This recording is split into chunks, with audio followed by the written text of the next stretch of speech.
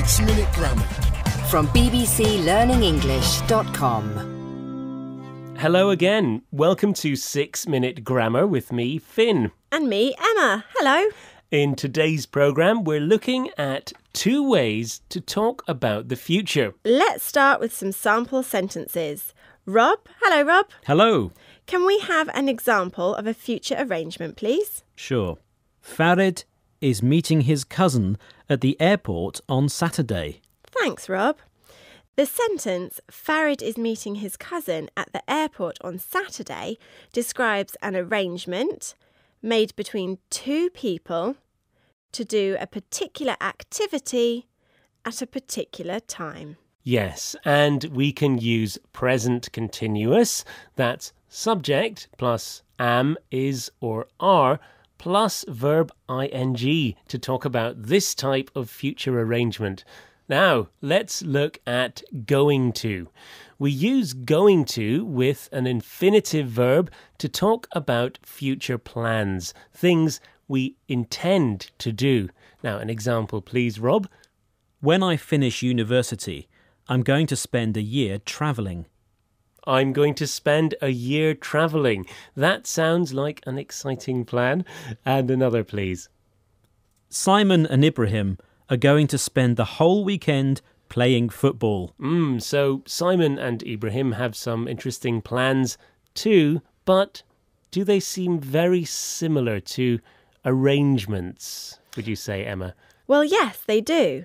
We can often use either the present continuous or going to for future plans. So we could say, I'm meeting some friends for a drink tonight.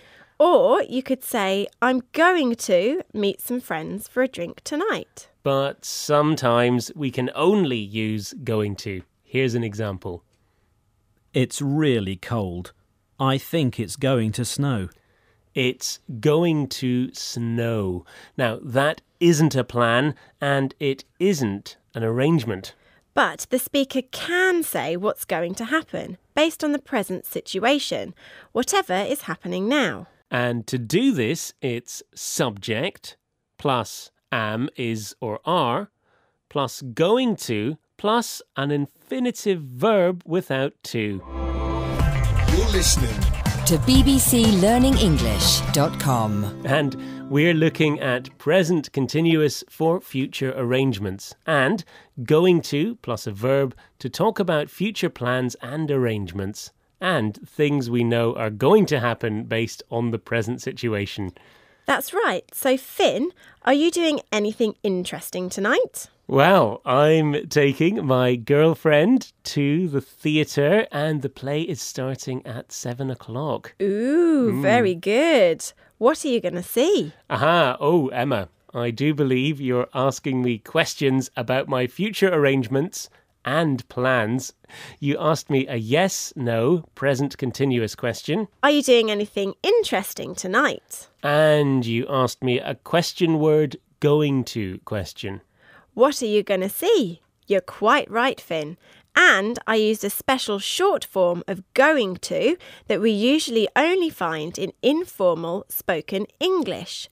I said gonna. Gonna. It's very common in spoken English.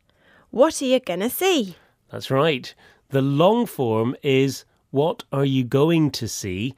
And the informal short form is what are you gonna see? What are you gonna see? Oh, well, I'll tell you later. But first, it's time for a quiz. So, question one Imagine you're at a football match. Your team is playing really well. Do you say, A, I'm sure they're going to score a goal? Or do you say, B, I'm sure they are scoring a goal? And the answer is A. I'm sure they are going to score a goal. Mm, that's right. Based on the present situation, which is they're playing well, we can talk about a probable future situation with going to. I'm sure they're going to score a goal.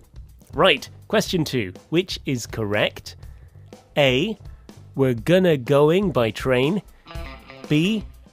We're going go by train. Or C. We're gonna go by train. It's C. We're gonna go by train. It's the shorter spoken form of we're going to go by train. Very good. Now, number three. Which is the correct future sentence? A. Hurry up, the train is leaving. Or B. Hurry up, the train is going to leave in 10 minutes. And the correct answer is B. The train is going to leave in 10 minutes. Sentence A needs a time expression to give it future meaning. Mm, yes, indeed. Well, I'm going to leave in a minute because I'm going to see a Shakespeare play with my girlfriend. Ooh! So I'll see you next time, Emma. Don't forget, there's lots more about this on our website at bbclearningenglish.com. Bye. Bye.